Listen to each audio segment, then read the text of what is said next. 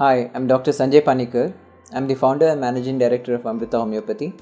We are placed at two locations at Koramangala 80 feet road, 4th block, and also at Marathahalli.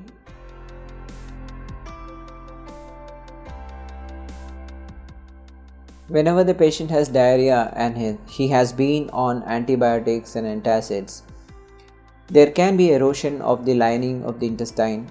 All the useful bacteria is also destroyed in the intestines along with the harmful bacteria. And so there will be a decrease in the intestinal flora which helps in the production of B complex. There is a lining erosion of the inside of the intestines which prevents the absorption of nutrients.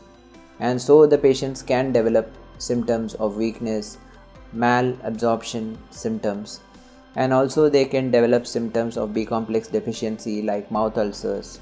Because the lining is not proper inside the intestine, there can be gas formation, acidity, heartburn, all these symptoms also subsequent to the antibiotic usage that is common.